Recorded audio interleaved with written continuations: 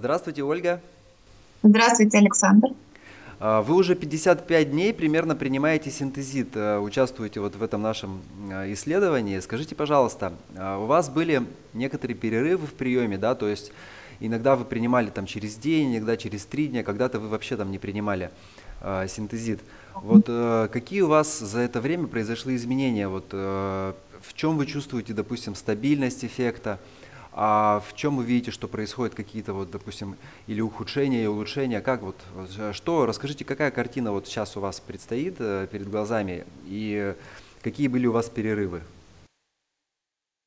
Ну, у меня были перерывы, когда я э, принимала через день или несколько дней вообще не принимала. В это время я заметила немножко ухудшение а, с онемением. У меня были проблемы с онемением рук во время сна. И при постоянном приеме это онемение ну, практически свелось на нет. Когда уменьшилась доза приема, то а, онемения они появились. Но при этом само восстановление после онемения было более быстрым, чем до приема этого а, препарата вообще. Вот. С точки зрения а, общего самочувствия, какого-то бодрости, а, мне кажется, что действие сохраня, сохраня, сохранилось. То есть вот после праздников я как раз выйдя на работу и активно поездив в метро, поднимаясь по эскалаторам, а, обратила внимание, еще раз для себя обратила внимание на то, что одышки при подъеме по эскалатору, вот метро Курская, там достаточно длинный эскалатор, вообще не было. Угу. Хотя сейчас вот доза а, несколько уменьшилась по сравнению с, первым, с первоначальным приемом. А, но у вас максимальный перерыв был какой? Сколько дней вот максимально вы не принимали? Максимально я не принимала дня 3-4. И была неделя, где я принимала через день.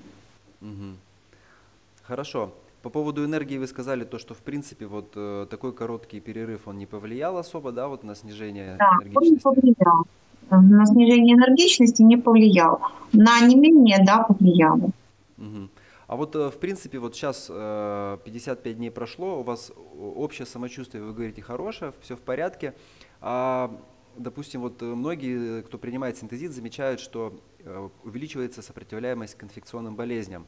Да? А как у вас вот с заболеваемостью? А,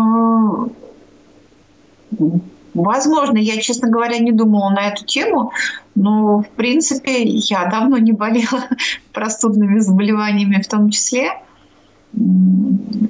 Хотя, ну вот недавно так были э, немножечко заболело горло, и буквально на следующий день прошло. Наверное, да. Наверное, этот эффект, наверное, есть. А вот еще мы с вами связывались э, буквально пару дней назад по телефону, и вы рассказывали то, что в зимний период в Москве, когда посыпают дороги солью, все эти реагенты, в воздухе химия висит, э, вот как, как вот у вас это все? Вот здесь я тоже обратила внимание, у меня была всегда зимой, при как только я выходила и э, солью дышала, это испаряемой лужами, э, то тут же начиналась одышка, причем достаточно сильная одышка. Сейчас я резво бегаю, ну как мы как все обычно, когда что-то хорошее, мы считаем, что это так и нужно. И только когда наступает плохое, мы понимаем, что ага, вот, а ведь раньше этого не было. И вот в этот раз я обратила внимание, что эффекта одышки у меня нету. Я пробегаю резво эту соль до метро, минут 15 по ней бегу, и вполне себе резво и хорошо. Хорошо, спасибо большое за интервью. Мы с вами еще обязательно в будущем свяжемся. Я думаю, что через пару-тройку недель и обязательно выйдем еще раз в эфир. Спасибо, спасибо. До свидания. До свидания.